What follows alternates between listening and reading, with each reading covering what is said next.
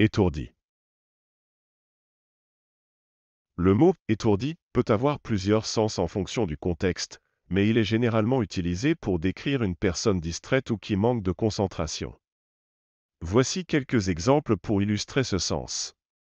Il est toujours étourdi, il oublie souvent les choses, ici, on veut dire que cette personne a tendance à être distraite et à avoir du mal à se souvenir de ce qu'elle doit faire.